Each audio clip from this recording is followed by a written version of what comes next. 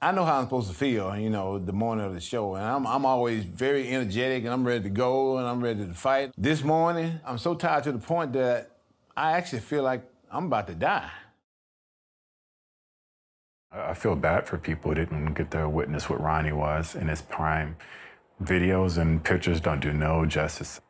I was trying to be the best in the world. Ronnie was standing in my way. So every year it was a battle against Ronnie Coleman. I knew that was the only guy that could possibly beat me.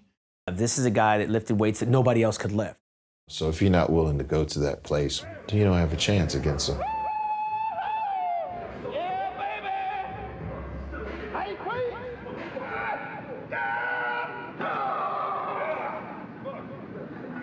Ronnie, number one, man. Ronnie, he had a goal in view.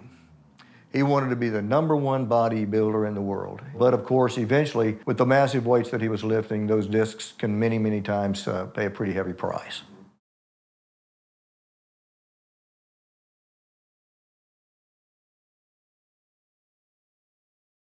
Doctor said uh, he's going to go in and uh, perform a surgery in which he's going to take out screws because all they're doing now is just causing me pain. And when I say pain, it's a lot of pain. It's like 24 7. It never stops. I won't lie, I, I cried the first time, you know, and especially when the hips went, and I mean, he had to use a walker and all that. That was that was tough for me.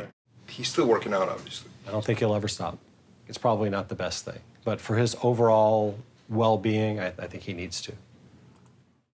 They're uh, called oxycodone. They 30 milligrams. I take about four, sometimes five a day, every single day. This is the highest potency you can get.